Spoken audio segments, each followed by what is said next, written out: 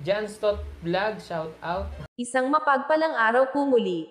Ito na naman ang inyong ka-cute Jan Stott Vlog muling nagbabalik upang magbigay mixing reaction video. Mapapanood po ang kabuuan sa vlog ni Tito Herns. Subscribe po natin ang kanyang channel. Salamat po ng marami. Habang hinihintay ni na Tito Herns mag alas 12 ng gabi upang saksihan ang pagpalit ng taon at manood syempre ng fireworks.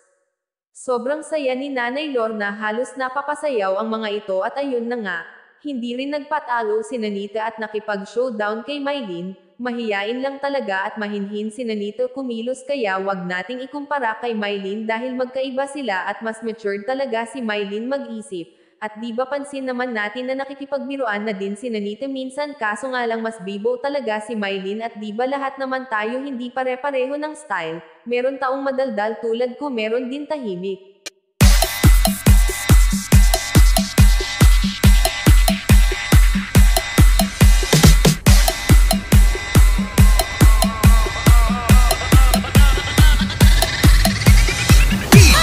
Chester, Power Bits Mobile.